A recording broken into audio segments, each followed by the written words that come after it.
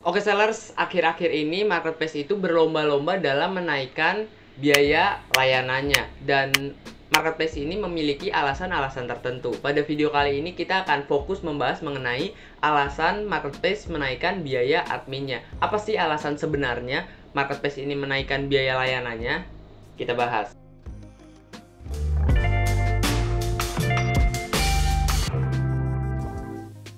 Oke sellers, di sini pertama-tama kita bahas dulu mengenai apa itu marketplace.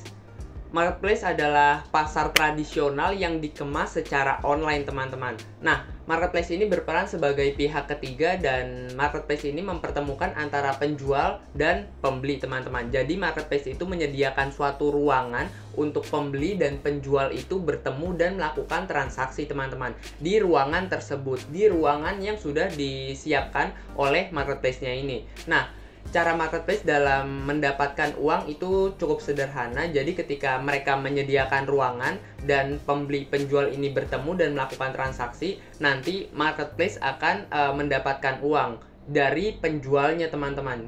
Jadi uh, marketplace kan sudah nyediain ruang kan untuk uh, pembeli dan penjual. Nah, penjual ini harus membayar sewa ruangannya itu teman-teman. Jadi kira-kira seperti itu untuk gambarannya. Itu yang pertama dari transaksi ya. Yang kedua dari iklan teman-teman. Jadi ketika penjual uh, suatu penjual membeli iklan di marketplace-nya mereka juga akan mendapatkan uang teman-teman. Nah jadi seperti itu. Nah ini cara pertama nih yang cukup menarik ya. Jadi uh, marketplace itu kan adalah suatu ruangan kan? Dan di ruangan tersebut ada banyak sekali penjual yang sudah siap menjualin barangnya teman-teman. Nah, tugas marketplace ini cukup sederhana yaitu mendatangkan pembeli ke ruangan tersebut teman-teman agar bertransaksi dengan salah satu penjual yang ada di ruangan tersebut. Oke, jadi seperti itu untuk cara kerja marketplace dan juga e, cara marketplace dapat duit ya. Oke sellers, di sini kita masuk pada topik pembahasan utama yaitu persaingan marketplace. Nanti ini juga ada hubungannya nih dengan biaya admin yang naik. Nah, pertama-tama kita bahas mengenai kenapa sih marketplace ini bersaing dan bagaimana sih cara marketplace ini bersaing. Nah, cara marketplace bersaing itu dengan uh, menarik pembeli sebanyak-banyaknya ke platform mereka teman-teman. Jadi uh, untuk cara menarik pembeli ini mereka gembor-gemboran dalam memasang iklan ataupun memasang promo-promo tertentu yang mendatangkan pembeli ke platform mereka teman-teman. Nah, kalau iklan dan memasang promo itu tentunya butuh budget kan. Nah, marketplace nggak kuat teman-teman kalau uh, nahan biaya ini sendirian teman-teman. Jadi marketplace membebankan uh, biayanya salah satunya ke para seller atau para penjual di marketplace teman-teman. Jadi seperti itu. Toh juga uh, nanti seller juga juga akan mendapatkan keuntungannya kan. Jadi ketika marketplace menarik audiens sebanyak-banyaknya ke tempatnya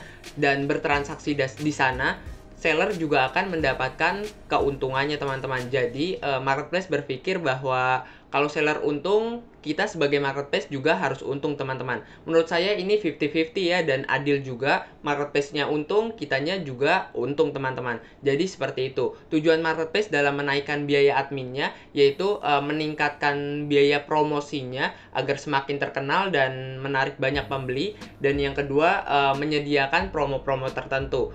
Intinya mereka melakukan suatu kegiatan yang mendatangkan pembeli ke platform mereka teman-teman. Dengan uang yang banyak mereka bisa pasang iklan uh, secara massal misalkan atau gembor-gemboran dan mereka juga bisa pasang promo-promo tertentu untuk menarik para pembeli teman-teman. Nah, uniknya ketika ada salah satu marketplace yang menaikkan biaya adminnya, marketplace lain juga ikut menaikkan biaya adminnya teman-teman Alasannya cukup sederhana karena uh, suatu marketplace juga tidak mau kalah kan dengan marketplace lainnya. Jadi ketika suatu marketplace menaikkan biaya layanannya dan memperbesar budget iklannya untuk menarik pembeli, marketplace lain juga tidak mau kalah teman-teman.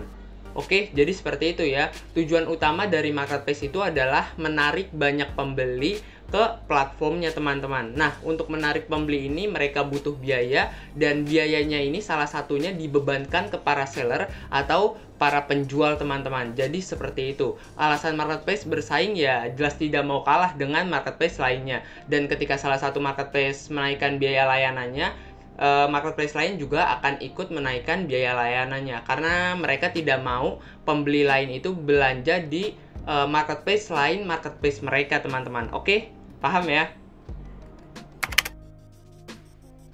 Oke sellers, di sini sekarang kita bahas mengenai uh, dampak kepada para seller, para kita sebagai penjual di marketplace teman-teman. Nah ini ada dampak positif dan dampak negatifnya ya. Nah pertama-tama kita bahas nih untuk dampak negatifnya. Nah dampak negatifnya tentunya uh, profit kita akan turun teman-teman. Tadinya kita untung sekitar 20% dari satu produk yang kita jual di marketplace, sekarang mungkin turun sekitar 15 ataupun 10% teman-teman dari satu produk yang kita jual jual di marketplace. Jadi intinya profit kita itu menurun teman-teman ketika biaya admin ditingkatkan oleh marketplace teman-teman.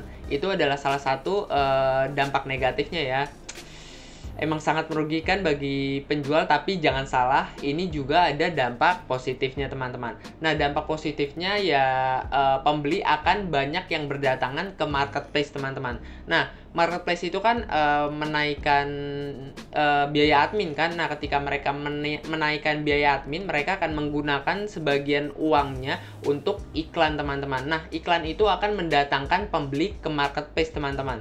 Nah uh, ketika banyak pembeli yang berdatangan ke marketplace, kita tinggal maksimalin aja untuk peluang tersebut teman-teman. Ingat ya, banyak pembeli di marketplace itu belum tentu beli di toko kita teman-teman. Jadi kita harus manfaatkan peluang ini ataupun uh, kesempatan positif ini teman-teman.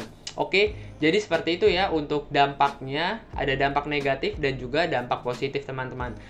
Oke sellers, jadi seperti itu untuk pembahasan video kali ini. Kalau kalian ada pendapat mengenai video ini ataupun seputar marketplace, kalian bisa ketik ya di kolom komentar. Nanti saya akan jawab uh, pernyataan atau pertanyaan kalian. Sekian dari saya, saya Ahmad Hidayat. Terima kasih. Mantap. Bye guys.